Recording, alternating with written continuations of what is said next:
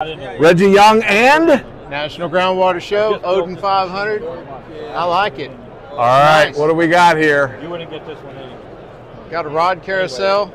Oh, look at this rod carousel. Yeah. Now, do you happen to know how much how much this holds? Negative, Ghost Rider. I don't.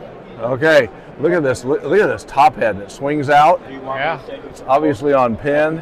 I hear the it's got- engine comes out on its own. It's got its own Yeah, yeah, cylinders yeah, yeah, that push yeah. it out. and then and then look at the breakout wrenches I like the I like the seat and here. uh, the plates. you got you got foot holders. Oh, now this is but this is the most important part for us old guys, right here, Yeah, right, sure. right, right, Oh wait, wait, wait, while while it's drilling, huh? While it while it's drilling.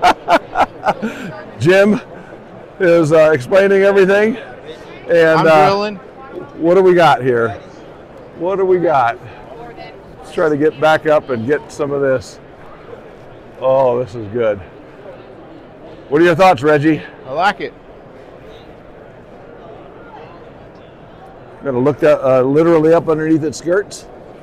Well, I wasn't gonna say it. Oh hell! Oh, Yeah. look and here's this. the engine, and this all Look- slides out. And Look at all your all your cuttings all the cuttings the comes right out here, drops right off of the. Why? I'm shocked. It There's a Mudslayer unit it- right on top of here. I'm shocked. What?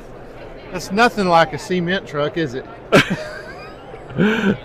Oh, this is amazing. Okay, and then uh, drain hookup just in case uh, you got the helper that can read that day, and then uh, this whole engine sets up to where pulls out. Oh man. Is it a Look. JCB engine? What are your thoughts, Regi? Huh? What are your thoughts? I like it.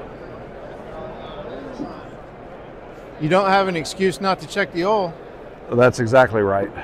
Especially when all you have to do is push a button and this thing slides out. Huh? So the carousel system on this is going to be something that Jim's going to need to explain to us, huh? Huh, Jim? Hi, Jim? I go. Okay. Oh, here we go. There we go. Man, that moves in like fast.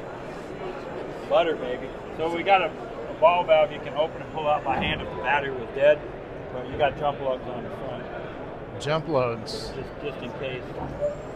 But what I like is once you roll the engine out, that bay in there is so open for access for, for service.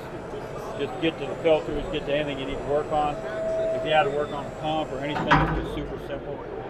Look how much room there is in there. Or if the enemy's coming, you can jump in there with your AR exactly. and you have all this armor protection around you. It's pretty robust. All right.